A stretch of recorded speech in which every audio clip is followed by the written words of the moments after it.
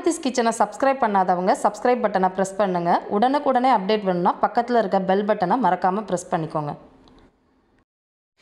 கருவேப்பிலை தொகையால் செய்ய ஃப்ரெஷ் கருவேப்பிலையாக நல்லா வந்து இந்த மாதிரி ரெண்டு கப் அளவுக்கு எடுத்துக்கலாம். இதுக்கு இருபத்தஞ்சு மிளகாய் நான் எடுத்து வச்சுருக்கேன். நீங்கள் கூட குறைச்சி எடுத்துக்கோங்க. வரமிளகாய் எடுத்துக்கிட்டால் நல்லாயிருக்கும் ஒரு பத்து சின்ன சைஸ் வெங்காயம் எடுத்து வச்சுருக்கேன். சின்ன வெங்காயம் இல்லை அப்படின்னா அரை பெரிய வெங்காயம் எடுத்துக்கோங்க. ஒரே ஒரு பல் வெள்ளைப்பூண்டு. நான் இன்னைக்கு கட்டி பெருங்காயம் இந்த அளவுக்கு எடுத்து வச்சுருக்கேன் நான். தாளிக்கிறதுக்கு கடுகு உளுத்தம் பருப்பு. க உளுத்தம் பருப்பு பார்த்தீங்கன்னா ஒரு ரெண்டு டேபிள் ஸ்பூன் தனியாக எடுத்துக்கோங்க. புளி ஒரு சின்ன கோழி குண்டு அளவு. இதுக்கு நல்லெண்ணெய் நல்லா இருக்கும். அதனால் நல்லெண்ணெய் உப்பு தேவையான அளவு.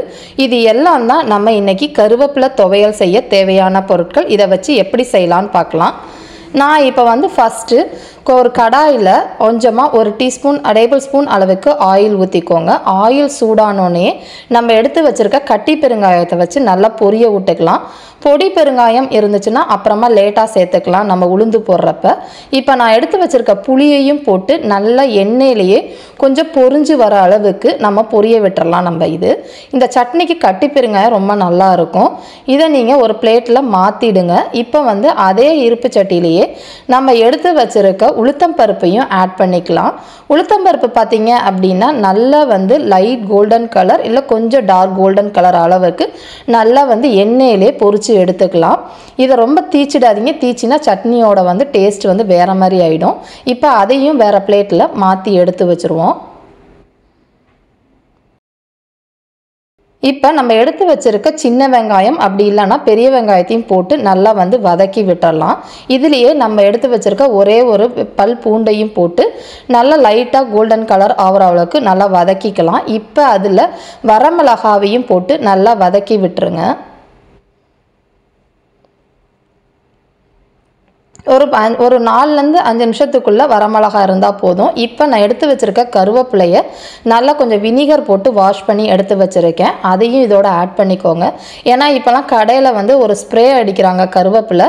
அதனால் அது உடம்புக்கு நல்லது இல்லைங்கிறனால கொஞ்சம் வாமான வாட்டரில் கருவேப்பிலையை நல்லா கழுவிட்டு ரெண்டு தடவை நல்ல வாட்டரில் கழுவிட்டு அதை ஆட் பண்ணிக்கோங்க. இப்போ இதுக்கு தேவையான அளவு உப்பையும் போட்டு கொஞ்சம் நேரம் இதை நல்லா வந்து எண்ணெயிலே வதக்குனீங்க அப்படின்னா நல்ல ஒரு ஃப்ளேவர் கிடைக்கும். அதே மாதிரி நம்மளோட சட்னியோட கலரும் நல்லா இருக்கும். ஒரு மேக்ஸிமம் பார்த்தீங்கன்னா த்ரீ டு ஃபோர் மினிட்ஸ் இதை வதக்குனா போதும். மீடியம் தீயில் வச்சுக்கோங்க.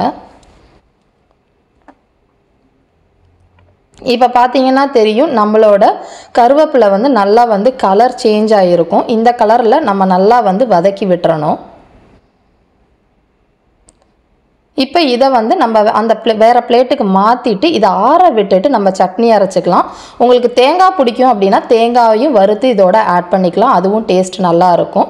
இப்போ இதை கொஞ்சம் நேரம் ஆற விட்டுட்டு அப்புறமா மிக்ஸி ஜாருக்கு மாற்றிக்கலாம் இப்போ ஆறுனதுக்கப்புறம் மிக்ஸி ஜாரில் மாற்றிட்டேன் இதை கொஞ்சம் கொஞ்சமாக தண்ணி தெளித்து கொஞ்சம் பேஸ்ட் அளவுக்கு இந்த அளவுக்கு நம்ம வந்து அரைச்சி எடுத்துக்கணும். சட்னி மாதிரி தண்ணியாக இருக்கக்கூடாது. இந்த கன்சிஸ்டன்சியில் இருந்தால் தொகையல் ரொம்ப நல்லா இருக்கும். இப்போ நம்ம இதுக்கு தாளிப்பு கொடுத்துர்லாம். அதுக்கு ஒரு சின்ன பேனில் ஒரு ரெண்டு டேபிள் ஸ்பூன் அளவுக்கு ஆயில் ஊற்றிக்கோங்க நல்லெண்ணெய் பிடிச்சவங்க நல்லெண்ணெய் ஆட் பண்ணிக்கிட்டிங்கன்னா ரொம்ப நல்லா இருக்கும்.